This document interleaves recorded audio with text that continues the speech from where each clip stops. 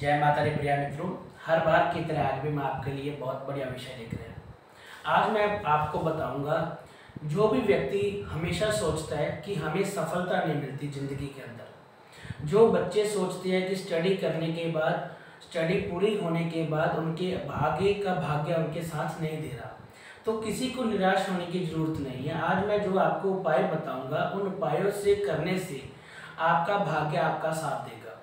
जो व्यक्ति सोच रहे हैं कि स्टडी करने के बाद उनको सफलता नहीं मिल रही जॉब नहीं मिल रही है या एजुकेशन के बाद उनके हर काम में रुकावटें चल रही हैं तो वो रुकावटें अपने आप धीरे धीरे से ठीक होनी शुरू हो जाएँगी। आज जो मैं आपको उपाय बता रहा हूँ, अगर आप अपने मन से, श्रद्धा से, दिल से अगर उपाय अपने परमात्मा का नाम लेकर करेंगे तो आपको वो उपाय काफ़ी ज़्यादा फ़ायदा आपको देंगे। अगर आपको ये वीडियो अच्छा लगे तो वीडियो को लाइक और शेयर ज़रूर करें। चैनल को सब्सक्राइब करना ना भूलें। आज का पहला उपाय।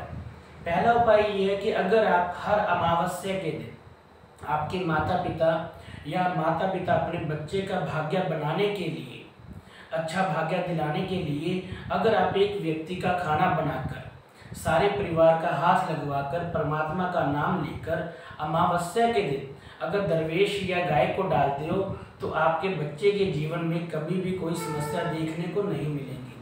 अब मैं आपको बता रहा हूँ दूसरा उपाय। जो बच्चे सोचते हैं कि हमारा भाग्य कभी भी हमारा साथ नहीं दे रहा, या हमारे हर बनते काम में रुकावटें ही रुकावटें आ रही हैं तो उनको हमेशा या हर रोज आपको हनुमान चालीसे का पाठ करना चाहिए। हनुमान चालीसा अगर आप एक बार, तीन बार, या दिन में सात बार अगर आप पढ़ते हो तो कभी भी आपके जीवन में कोई भी समस्या आपके आगे खड़ी नहीं होगी। आपकी समस्या अपने आप ठीक होनी शुरू हो जाएगी। अब आपको बता रहा हूँ तीसरा उपाय। तीसरा उपाय है हर मंगलवार के दिन अगर आप बूंदी के लड्डू लेकर या बेसन की बर्फ़ी लेकर, वो आपकी अपनी श्रद्धा भावना है आप वो दो पीस लीजिए, चाहे चार, चाहे आप उससे ज़्यादा।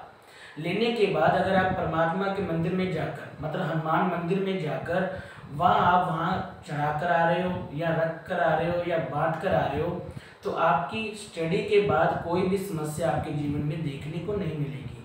अगर किसी को जॉब नहीं मिल रही तो जॉब भी इस उपाय से आपको मिलनी शुरू हो जाएगी। अब मैं आपको फोर्थ उपाय बता रहा हूँ, जिसे करने से कभी भी हमारे जीवन में समस्या नहीं आती।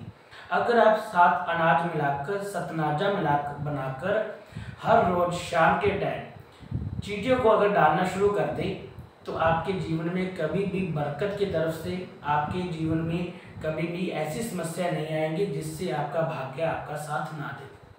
अब मैं आपको बता रहा हूँ पांचवा उपाय। फिफ्थ उपाय ये है कि हर शनिवार के दिन कोई भी व्यक्ति अगर अपने काम को लेकर अपनी स्टडी के बाद, अपनी सफलता को सोचने के बाद कि सफलता उनके पैरों में नहीं आ रही है। मेहनत करने के बाद उनको अच्छा रिज़ल्ट नहीं मिल रहा।